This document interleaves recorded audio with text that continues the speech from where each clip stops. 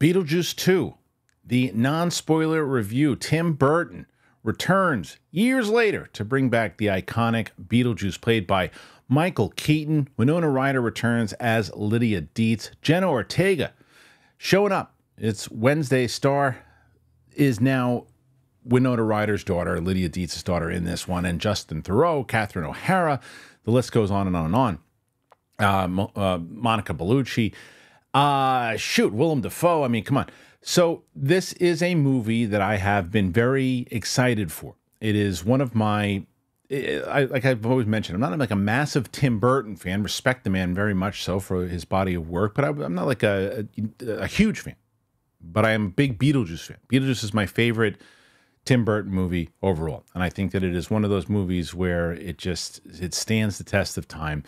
It's done so much so when they announced this movie, I was excited for it. It's been in the works forever. I think 2014 was the first time when they started even sniffing around this thing. It's been, people have been ready for it.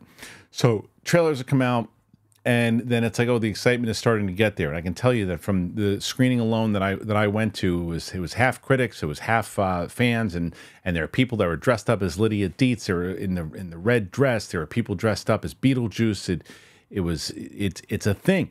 So people are excited. So I'll tell you this about the movie and the same thing I did now the theater reaction. I'll just start it and give it to you, rip the band-aid off. I think this movie is good, not great.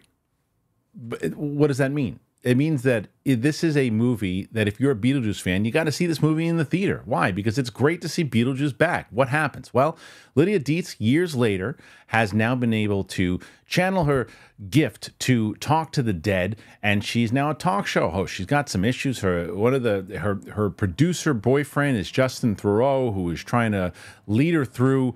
You know, hey, get your stuff together. You can do this. Let's make this work together.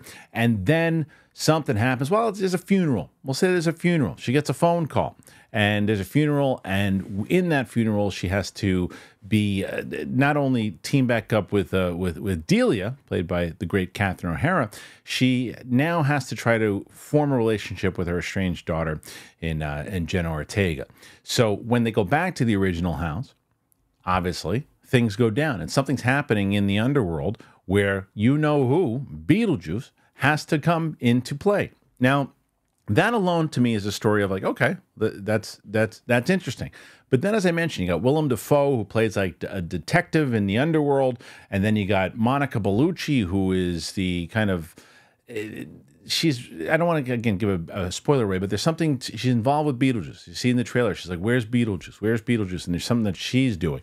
And then you've got the Jenna Ortega story where she's trying to you know get not only patch things up or trying to have some kind of relationship with her mother, that there's another thing that happens to her while she's in this town. So uh, Catherine O'Hara has a story that she's developing, right? Justin Theroux has something he's trying to court more so and have more of a relationship with Winona Ryder. So there's a lot going on in a movie that's an hour and 45 minutes.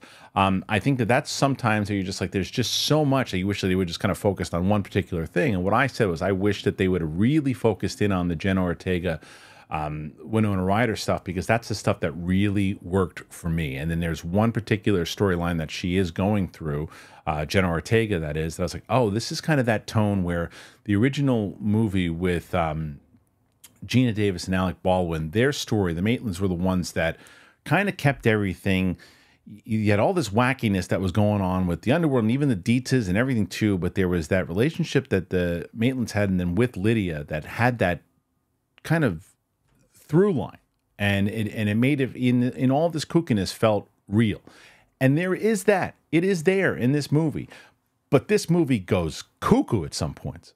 Um, but that's like you know, like I said, it sometimes when you see a movie in a sequel, you're like that didn't even feel like the same tone. It didn't even feel like doesn't, it doesn't feel like it's in the Beetlejuice world. This feels like it's in the Beetlejuice world. It's fun to be back here. It's fun to be back here. And that's the thing. I think people are going to ask you that. Did you have fun watching this movie? 100%. I enjoyed watching it the whole way through. I had a smile on my face every time Beetlejuice was on. I had a smile the second that Lydia Deetz showed up and she starts talking. Um, and it's just you know is the is the story as solid as the other one? No, it's not. And the the but I mentioned this early on a different show where it's like Wayne's World 1, really fun. Wayne's World 2, It's a worthy succession. This is the same thing. Worthy succession. It's a it's a it's a good it's a it's a good sequel to um to, to the it feels like a Beetlejuice movie. It does. And the and what I liked was we used the with the practical effects and the claymation and all those types of things, like that all adds in. Um they do like the Willem Dafoe stuff as much as I like Willem Dafoe, kind of unnecessary. And it almost plays off like a little Roger Rabbity more than than Beetlejuice. Uh, there's some stuff that gets a little dark, which you know you're dealing with death in the underworld. That's gonna happen.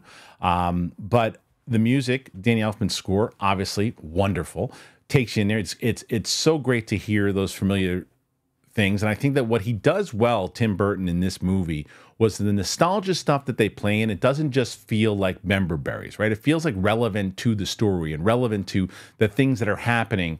Um, and there's mentions to the original and what had happened in the past and how it actually plays in and how the model works into it.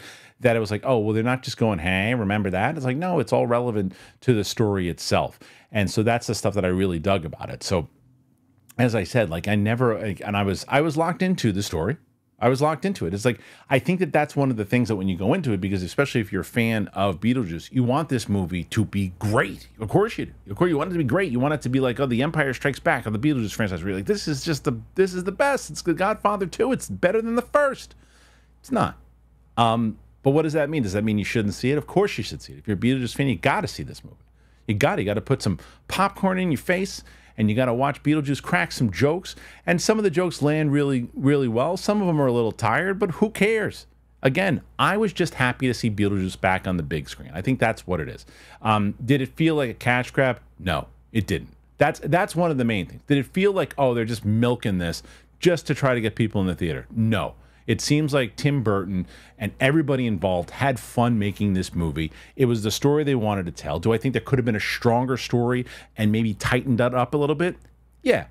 But it didn't feel like, oh man, they shouldn't even touch this thing again. Absolutely not. I liked being back here. I liked seeing everybody. I liked being back in the town. I liked being around with uh, with Lydia. I like to, to see where Lydia has gone, the relationship she's been in. There's, I mean, I can't get into spoilers, but there's sometimes when you're in the underworld with it, but this is what Tim Burton does with it. That if some like, let's just say I'm making this up. Let's say that um, you know, uh, it, it, in order to get to the underworld, or what happened to me in in my life, uh, my thing fell on my head and half my face was off. Well, in my under in the underworld, I got to live with half a face. And it's like it's part of the fun of the Tim Burton makeup is to do that. But it's just like there's some things that happen. There's one particular guy that he's trying to have this emotional moment, and the thing that's happening with him, I'm like, I can't take you serious because you got this going on, and it that took me out a little bit. But then I'm like, yeah, but but at the same time, the same time when I was thinking that, I'm going, it's a Tim Burton movie. It's those old weird shit going on, and it's supposed to. You're in the underworld. So overall, if I'm going to go out of uh, out of five, I would say I'm going to go 3.6 out of 5 overall for Beetlejuice uh, 2. Enjoyable movie. Good sequel.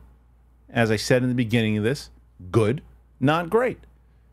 I would encourage anybody that's interested in this movie. Uh, well, should I wait for streaming? No, don't wait for streaming. Go see it in the theater. Go have a good time. It is an event film. As I said, there are people dressed up. It's an event. It's an event film, and it just feels good to see the big guy back on screen. It really does. And Michael Keaton's fantastic. Uh, so so good. Doesn't you don't notice that you know because you're like oh, it was 30 years ago. Does he like when you look at the Irishman and you see they're trying to use makeup for uh, or or C- CGI rather for De Niro to watch him pretend that he's stomping on somebody when he's 30, but he looks 65, 70 years old. It's noticeable. Not noticeable in this. Not noticeable that he's that he's older. You can't tell. Guy hasn't missed a beat. He's great. So good. Tim Burton also does a very good job directing this movie. Um, he's he's a legend. And the the end, I will say, the end for me, I was just like, the, like the very the very end. I'm like, what was that? I don't know if we needed that, but some people have fun with it. Anyway, that's it. It's my review. Um, go see Beetlejuice 2. And let me know what you think after you see it. Put your comments in there. This movie's going to do very well in the theater. People are going to go see this movie. It's going to be one of those things people are talking about. So I'm curious what you think. Did you like the original Beetlejuice? Do you not even care about this one? Or are you a Beetlejuice fanatic and you can't wait to see it? Put your comments in there. Tell me what you think. If you're brand new to the channel, please subscribe to the channel. We're trying to build up the uh, the audience here to see more of these reviews out of the theater reactions, all this stuff that we do. We have actual movie reactions that we're launching on Friday. Myself and UFC legend Matt Serra are going to be reviewing Borderlands or reacting to rather Borderlands on Friday. So come check that out. Thanks for being here. Appreciate you. See you later.